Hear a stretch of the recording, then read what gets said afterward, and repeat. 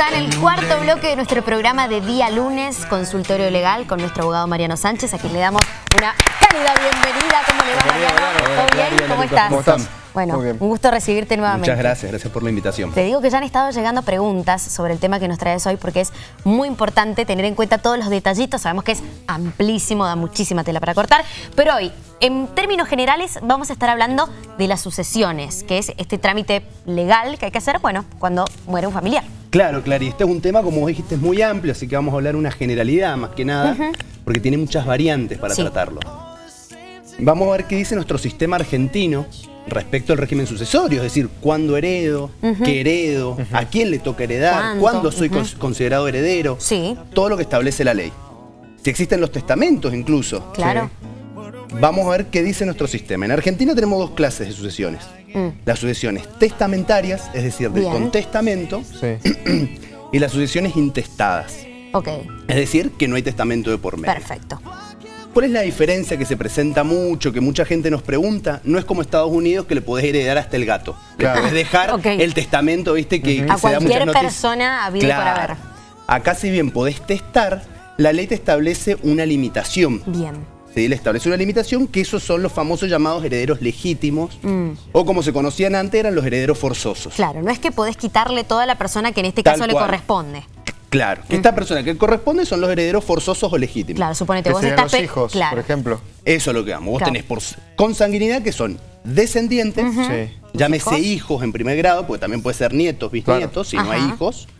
Ascendentes, que son los padres, colaterales, hermanos y la cónyuge, o el cónyuge, Bien. Ok. que sería el viudo o la viuda. Perfecto. Bien. Esos son los herederos legítimos, los que siempre van a heredar. ¿sí? Ajá. Entonces, si nosotros Tengo tenemos- una duda, perdón. Sí, Siempre que la persona muere, ¿van a heredar también los padres un porcentaje en este caso? no, ¿O eso es lo que te voy a explicar ahora. Bien. Bien. Acá hay un régimen de, de exclusión.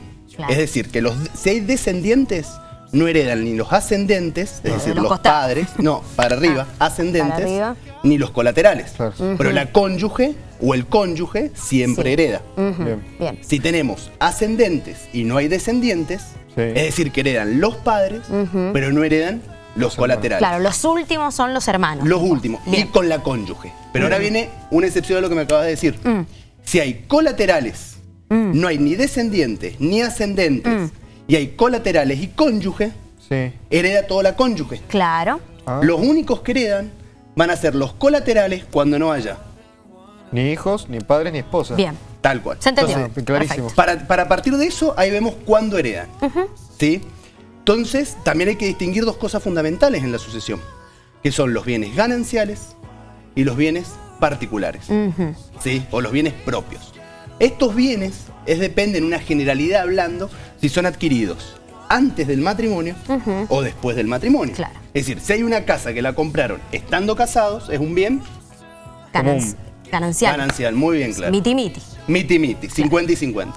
Y si es un bien que compraron, que compró uno de los cónyuges antes del matrimonio, No me acuerdo cómo se llamaban, pero el otro. un Pero bien. el otro. Claro. Entonces, eh, partiendo de la base, en esa distinción vamos a ver cómo se hereda. Bien. Y vamos a hacer una generalidad.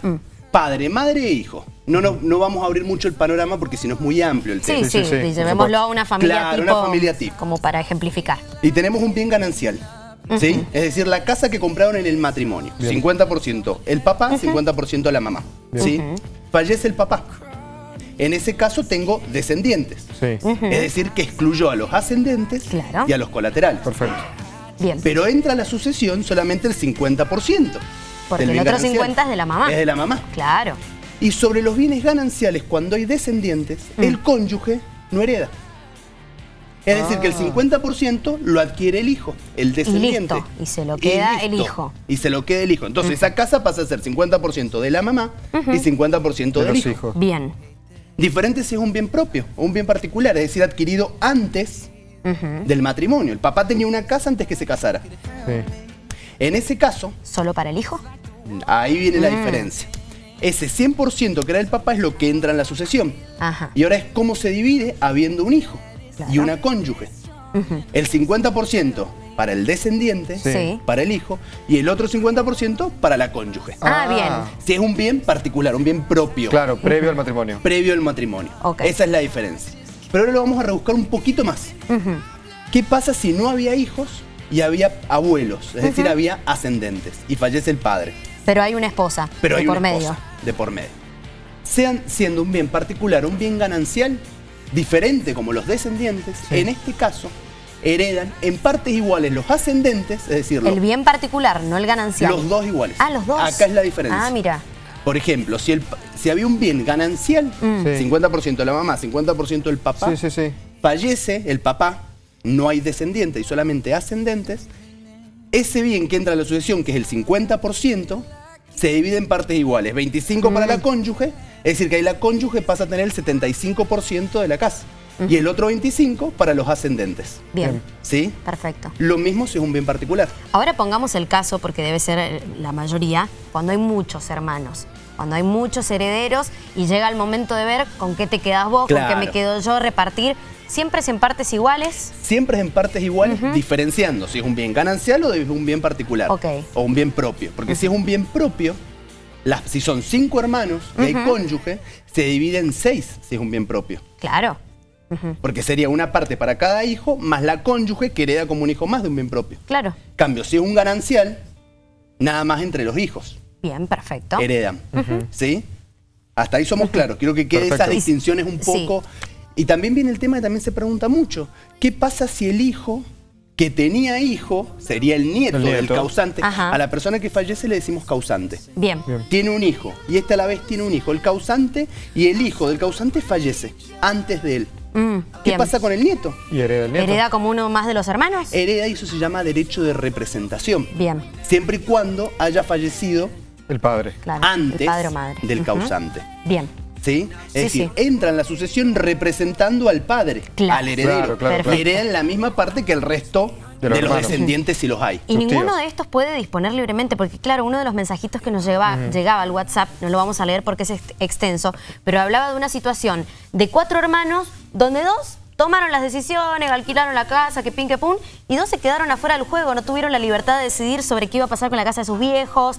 Esto no se puede, en definitiva. Mira, tenemos lo que se llama derecho tenemos la administración de los bienes y la disposición de los bienes. Mm. Administrar un, bien es- un bien es siempre generar, digamos, una ganancialidad. Claro. Si hay una casa que en la sucesión está abandonada porque vivieron los abuelos y la verdad, o los padres, y mira, hace cinco años está tirado y uno de los hermanos le empieza a alquilar, puede hacerlo porque a lo que está haciendo le está sacando un fruto, le está Mm. Sí. sacando una ganancia. Ajá. Siempre y cuando rinda en la sucesión o al resto de los herederos la ganancia que se tiene. Ah. ¿Y cómo lo va a rendir? Tiene que ser todos mutuo acuerdo, digamos. Mira, por ahí uno de los herederos lo puede, puede salir a alquilarla por motus propio, siempre y cuando rinda. Lo ideal sería que estén todos de acuerdo. ¿Y qué es rendirlo? Y rendir es decir, bueno, miren, nosotros cobramos alquiler. Esta plata y Sí. los gastos son, el derecho inmobiliario se paga tanto, las tasas municipales se pagan Sí. tanto, se le hizo un arreglo. Entonces eso, Mm. administrar a la sucesión, rendir cuentas. Muchas veces en los procesos sucesorios, el administrador puede cobrar un- una especie de renta por lo que está haciendo. Ok. ¿sí? Lo ideal sería que no, porque al fin y al cabo la sucesión tiende a beneficiar a todos. Siempre la sucesión traen, esto quiero dejarlo en claro, que a veces traen muchas disputas entre familiares. Sí, que los abogados muchas veces abogamos para evitar eso, para hacer, digamos, lo más legal, lo más, eh, lo, lo más llevadero posible. Claro. ¿Sí? Claro. Pero suele pasar. Y para sí, vender, suele pasar suele que un hermano mucho. dispone y dice, no, la verdad que todo esto, como el papá a mí me quería mucho, Claro, me lo me deja a mí. No, Claro, de ¿y dónde está hermano. escrito? Se, han pe- se pelean hasta por una mesa, Clary, a veces. Sí, es terrible. Sí. Marian, tengo una consulta que nos pregunta aquí la gente. Cuando muere el padre, digamos, ¿sí? Sí. Se hereda o toma parte la madre. Sí. Esta mujer se vuelve a casar, pero muere.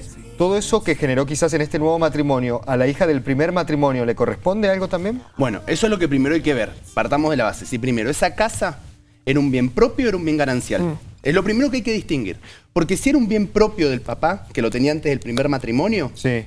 la mamá, y es una sola hija, heredó el 50%. Claro. Es decir, que la mamá es dueña del 50%. Sí. ¿Sí? Sí. Entonces, la madre puede disponer de su 50% nada más. Bien. Y la hija sigue siendo dueña del otro 50%. Puede vender una parte indivisa, es decir, puede vender su 50%, Claro, exacto. pero con la conformidad del otro. Bien. Y eso también es importante. A veces se da la viuda o el viudo puede seguir permaneciendo en la casa o viviendo, tiene este derecho de usufructo de vivir en la casa cuando la casa fue la casa en común. Que pasa muchas veces por ahí los hijos la quieren sacar a la madre.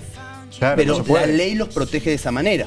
No así, algo que también se presenta mucho la confusión, el famoso conviviente, las uniones convivenciales, el novio, la pareja, esa persona no tiene derechos hereditarios. Claro. La ley regula el cónyuge, es decir, el que está casado conforme las legalidades de la ley en Argentina, descendientes, ascendientes, colaterales. Convivientes no lo regula, sí les da un derecho. Un derecho habitacional. Un derecho habitacional, si vivieron, a que se respete la vivienda. ¿No hay ninguna instancia en que después de cierta cantidad de años se considere como un matrimonio, pese a que no esté legalizado? No, para que sea matrimonio tiene que cumplir las formalidades de la ley. Bien. No, no, no por estar 20 años y tener cinco hijos, están ¿Estás casado o no? ¿Estás casado o no? Perfecto. Y el cónyuge tiene mm, derecho habitacional de por vida, ¿no? no, lo puede sacar de esa casa. De por vida, salvo que él quiera, quiera vender la casa, esté de acuerdo con el resto de los herederos e irse a otro lugar. Eso es muy importante siempre tenerlo en cuenta. Mira, han dejado muchas preguntas, así que vamos a seguir así como un ping-pong bien rápido para alcanzar a responder la mayor cantidad. ¿Cuántos años son el límite para abrir una sucesión? Nos dice Fabián por acá en el WhatsApp. No, no hay un límite para abrir una sucesión. Eso se puede ir abriendo a medida que se quieran ir disponiendo de los bienes. Mm. O por ejemplo, unos herederos dicen, necesito vender la casa del papá o la mamá, se puede abrir en, cualquier momento, porque uno siempre es heredero de la muerte de una persona. Bien. Perfecto. No hay un plazo de prescripción, por así decirlo. Sobre los costos preguntan también para Bueno, los costos en realidad tiene costos del inicio, que es el pago de unos impuestos, que es los aportes. Se pagan también las publicaciones edictales, se pagan los oficios al registro de acto de última voluntad. Eh, y luego de eso tienen los honorarios del abogado, que eso lo regula nuestra ley, la 9131, que es un porcentaje en proporcional a, los bienes de la herencia, que eso se llama el acervo hereditario, es una proporción de honorario. Por, supuesto, todo eso se puede convenir y hablar con el abogado. Perfecto. Mira, una pregunta re interesante acá que nos plantea un, caso hipotético. ¿Cómo sería si hace más de 20 años nos dieron el anticipo de herencia, pero hoy aparece un hijo más, un hijo que, no conocían, y reclama, reclama parte de su herencia. ¿Cómo hay que hacer ahí? A ese hijo primero se le debe respetar todo en partes iguales, porque no es testamento lo que se hizo. No es testamento. Diferente del testamento. Cuando se hizo el testamento, hay que respetar la legítima que tiene cada uno. Ahora, si aparece un hijo mm. en el cual no se le dejó nada, bueno, hay que ver la cantidad de bienes, el acervo hereditario, porque esto es un adelanto de herencia y en virtud de eso hay que mm. repartirlo en partes iguales. Hay que volver a repartir, en definitiva. Tal cual. Se puede hacer una compensación, por supuesto. Si hay tres casas y son dos hermanos y se habían dicho una casa y media para cada uno, claro, bueno, van a tener que dejar una casa. Una casa al, que corresponde. Sin duda. Bueno, hay miles de casos. Sí, es muy Miles de, casos hipotéticos que podemos llegar a plantear, pero bueno, en planos generales nos hemos sacado muchas dudas, así que Mariano, gracias porque la verdad que impecable como nos ha traído el tema y hemos tenido, mira, una clase de sucesiones acá en vivo. Magistral. Gracias, gracias Mariano. Bueno,